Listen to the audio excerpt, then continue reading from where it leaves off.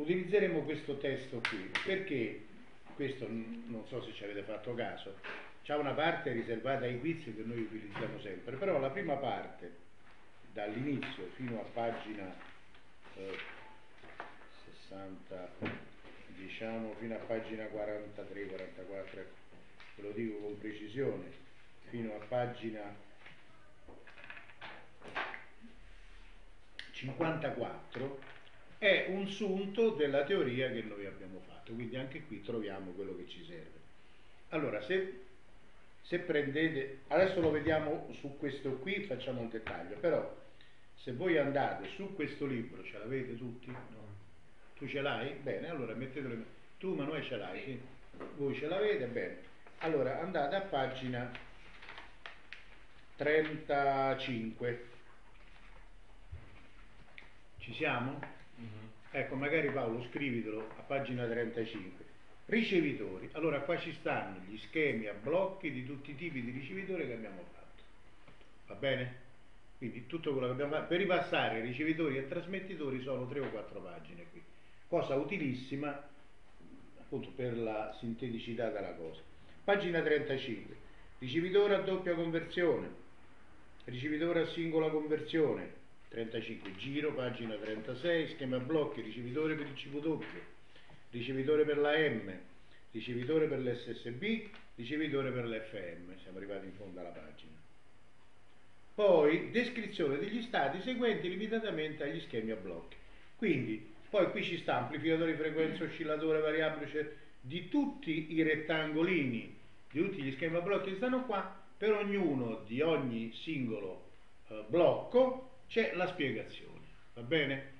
E quindi questo uno l'abbiamo fatta, eh? ci date una letta, è un ottimo ripasso, fatelo. Poi andando avanti, 37, pagina 38, caratteristiche dei ricevitori in forma descrittiva e ci sta la, uh, la curva di selettività, vi ricordate F con 0, i 6 dB, eccetera, sensibilità, stabilità, tutte cose che abbiamo detto. Però qua in 5 pagine ci sono le ultime 6 o 7 lezioni, quindi dato che sono poi formative importanti, utilizzate pure questo. A pagina 39 si parla dei trasmettitori e degli schemi a blocchi dei trasmettitori, cioè è la stessa cosa girata da ricevitori a trasmettitori. Quindi schema a blocchi trasmettitore SSB, pagina 39, eh. poi schema a blocchi trasmettitore telegrafico, poi girando la pagina trasmettitori SSB e trasmettitori modulazione di frequenza. Anche qui descrizione degli stati limitatamente agli schemi a blocchi, quindi per ognuno di quelli c'è la descrizione, va bene?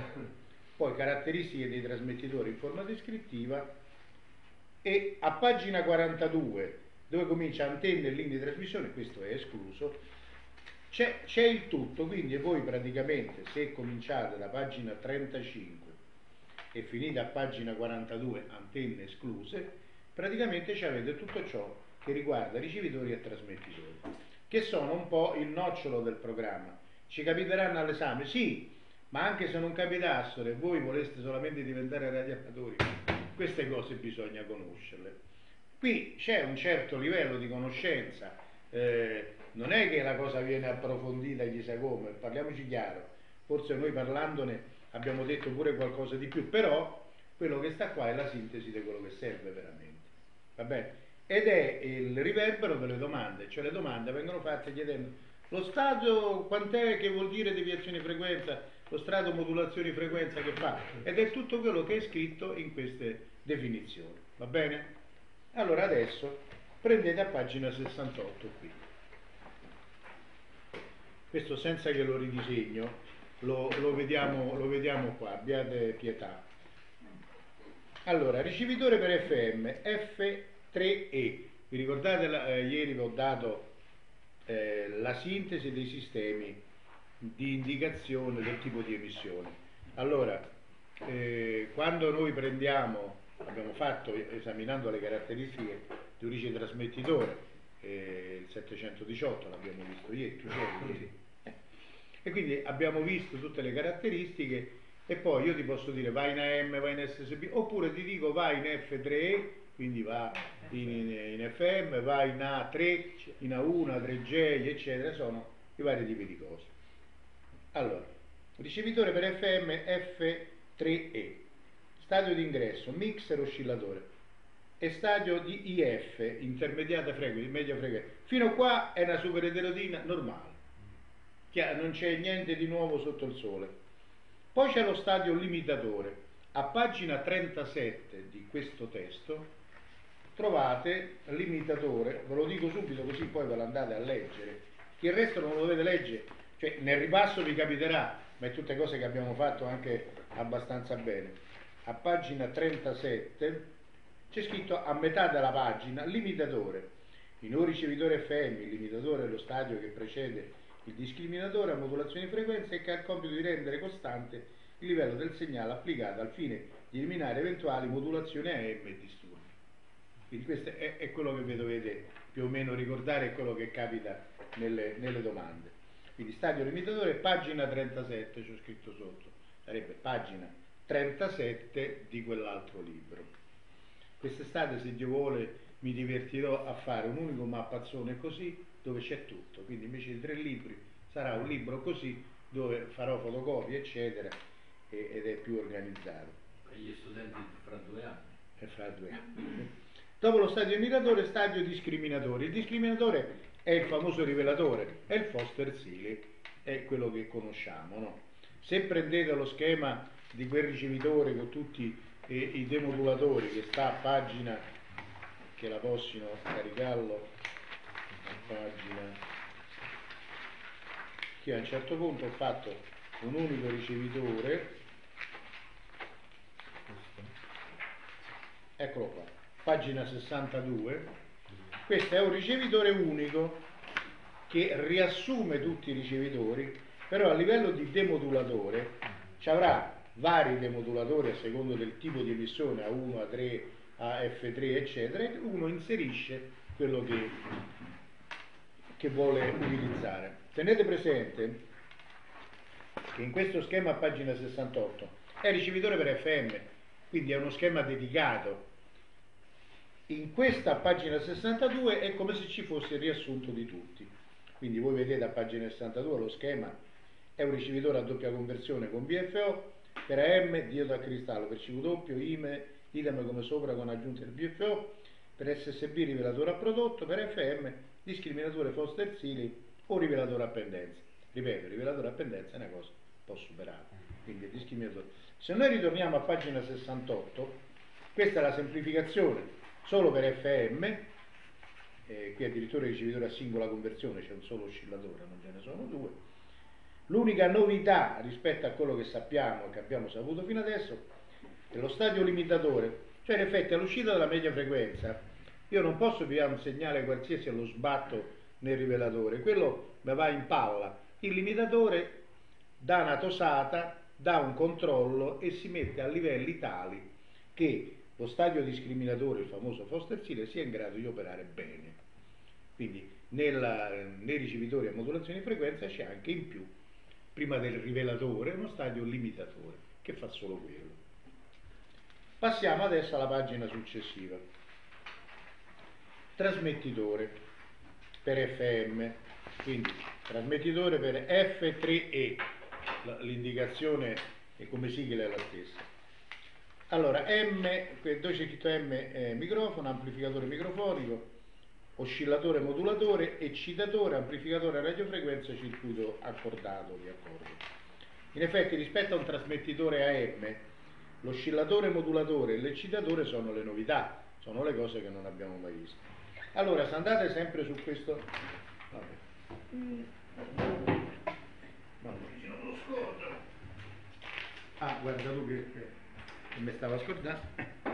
Allora, se andiamo sempre su questo, vi faccio vedere solo le definizioni relative a questo qui, ma tutti gli altri stadi e tutti gli altri ricevitori e trasmettitori sono la somma di tutte queste definizioni, quindi ripeto, ripassando questo li ripassate tutti e vi vedete i vari schemi.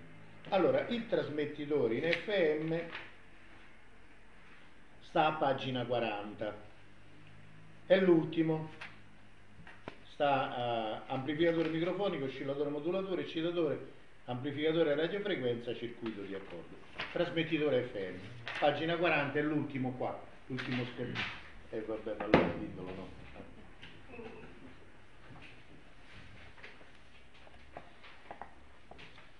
Allora, a pagina 41 nelle varie definizioni, la prima, qui a pagina 41, modulatore, modulatore di frequenza, che è l'oscillatore modulatore, sta a pagina 41, questo qui, la descrizione di questo. Leggiamolo insieme.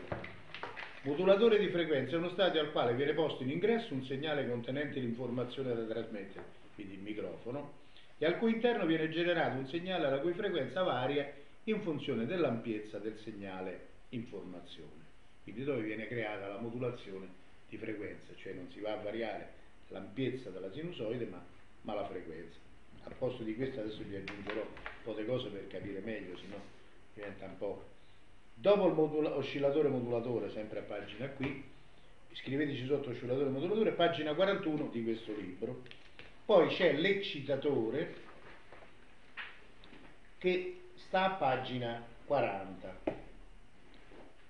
Se voi leggete qui, dopo lo schema, eccitatore buffer, qui, pagina 40, è quello che vi dovete ricordare, eccitatore.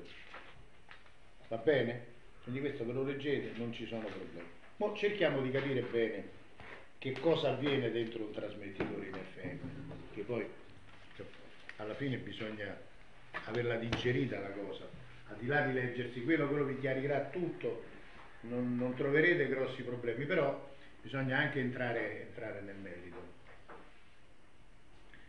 Vi dovete leggere questa definizione, ma io questa definizione, dato che è molto particolare ed è una novità assoluta, è a pagina 42 c'è scritto deviazione di frequenza. La deviazione di frequenza sta solo sui trasmettitori FM. Che cosa significa in sostanza? Modulazione di frequenza. Allora io ho la portante che è 100 mega. Modulazione di frequenza dice ma sto trasmettitore quando modula la frequenza, cioè varia la frequenza, che va da 90 a 150, tudum, tudum, tudum. no, non è possibile perché altrimenti eh, eh, la deviazione di frequenza, cioè lo sbandamento rispetto alla frequenza di riferimento deve essere contenuto entro una dimensione accettabile, perché se no se io vado al canale a fianco, che faccio? Sento quello quando modulo? Allora la deviazione di frequenza è lo spostamento della frequenza di riferimento, qui diciamo ho uh, radio latina 1 101 MHz, va bene? La deviazione di frequenza rispetto a questa frequenza che è F con 0, la frequenza di, di, trasmissione, deve essere uno spostamento avanti o indietro, perché modulo in frequenza, quindi la frequenza si deve spostare, più strillo e più devia, cioè più si allontana dalla frequenza fondamentale, quindi la bassa frequenza si riverbera sulla quantità di deviazione. Però la deviazione deve avere un limite. Il limite normalmente è più o meno 30-35 1000 Hz, quindi io devo arrivare alla deviazione massima intorno ai 75, che significa che F con 0, 101, l'altra stazione starà a 101,1 o a 101,2,3, quindi la distanza fra le due, da qua a qua, deve essere 100 kHz, perché lui rispetto alla frequenza di riferimento sbanda per una deviazione totale di 75. Quindi diciamo, scriviamo 80 per, per praticità, 40 di qua e 40 di là. E, e quello, se questo sbanda 40 di qua e 40 di là, c'è un canale vuoto di 20 kHz che mi fa da frequenza di riferimento, mi fa da separazione fra i due, no? Quindi che cos'è la deviazione di frequenza? L'indice di deviazione di frequenza è l'indice che ci dice di quanto si sposta il, la frequenza di centrobanda rispetto a se stessa in funzione dell'entrata in azione della modulazione. Quindi io parlando, se strillo di più, c'è quindi la potenza in bassa frequenza diventa funzione dello sbandamento, dello spostamento a destra o a sinistra rispetto alla frequenza di riferimento. quindi la deviazione. Il termine ci va ad aprire perché qua si Sì, schiatta. Eh, la, la deviazione di frequenza quindi è l'indice di modulazione, se vogliamo. no? Quant'è la massima deviazione permessa? Massima deviazione permessa eh, dipende, dipende anche dalla canalizzazione. Allora, i radioamatori eh, sono partiti da 25 ogni canale. È chiaro che il canale, se la deviazione è maggiore, eh, il canale deve essere più largo. Un canale di questi intorno ai 100 kHz, di meno, ma insomma 100 kHz ci vuole. Se io ho un lettore preciso, magari digitale, mi metto sulla frequenza di riferimento, sposto a destra o a sinistra, devo più o meno sentire ancora la stazione. A un certo punto, ta, mi si chiude e passo a una zona bianca e dopo viene l'altra. Questo lo potete fare con qualsiasi ricevitore per le radio private, ve ne accorgete. Allora, la, la deviazione di frequenza è funzione dell'ampiezza della banda di bassa frequenza da trasmettere. Se io devo trasmettere la voce umana, mi bastano 3000 Hz, 4000. Allora i radioamatori che usano? Canali da 12,5 kHz. Prima era 25, ora è diventato 12,5. Meno di quello non si può scendere. Io che trasmetto all'alta fedeltà e allora a me mi servono 70-80 kHz perché ho da 0 a 30 canale destro, da 0 a 30 canale sinistro, quindi almeno 60 millidività per poter trasmettere correttamente tutte le frequenze audio che vanno a modulare quello- la portante. La deviazione di frequenza, come abbiamo visto molte volte, se io modulo in ampiezza è chiaro che ho una cosa del genere, questo è DSB, doppia modulazione, in cui questa è la bassa frequenza e questa dentro è la portante, quindi radiofrequenza. Se, eh, se invece vado in FM è chiaro che non ci saranno avvallamenti, è tutto pari, però il diagramma è di questo tipo. Sto esagerando, eh? Cioè modulazione di frequenze significa che l'ampiezza è la stessa, ma cambia il rapporto tra le varie onde. Rispetto alla deviazione, rispetto a quest'asse, ho deviato tanto a destra tanto a sinistra. Quindi rispetto a questo che è non modulato, qua quando è modulato mi si allarga e mi si stringe in funzione come, del messaggio che gli do. Quindi la massima deviazione è intorno ai 75. Per le radio private è chiaro che nel nostro sistema radioamatoriale la devia- massima deviazione è 12,5, se il canale è quello, se io devio di più vado a rompere i cosi a quelli a fianco, insomma. No? Quindi ecco, volevo che voi prendeste il concetto di questo qui per capire che vuol dire deviazione. Che sulla deviazione poi ci mette tre righe, leggetevelo, però bisogna capirlo bene, sennò, sennò così è pura barzelletta. Allora chiudiamo questo, chiudiamo questo. Considerate che abbiamo fatto molto presto.